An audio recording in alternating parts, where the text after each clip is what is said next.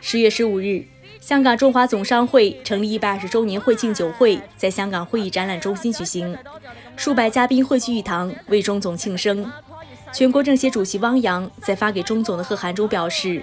风雨两甲子，但系一脉承。”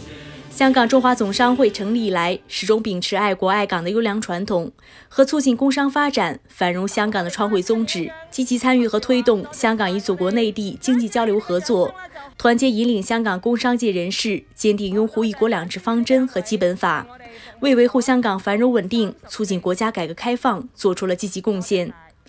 香港特区行政长官林郑月娥以主礼嘉宾身份出席酒会致辞时说。中总是香港历史最为悠久的商会之一，过去一百二十年见证香港的变迁和进步，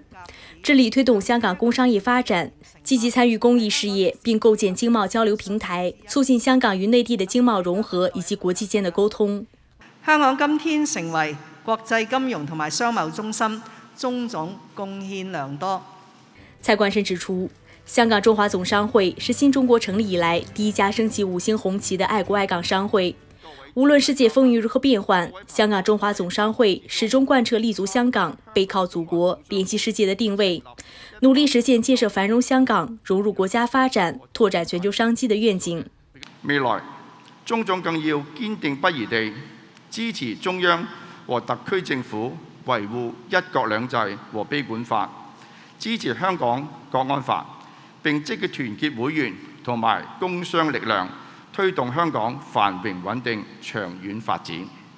全国政协副主席董建华、中央人民政府驻香港特别行政区联络办公室副主任谭铁牛、外交部驻香港特别行政区特派员公署副特派员杨一瑞、解放军驻港部队副司令员郑国跃等出席了当天的酒会，并担任主礼嘉宾。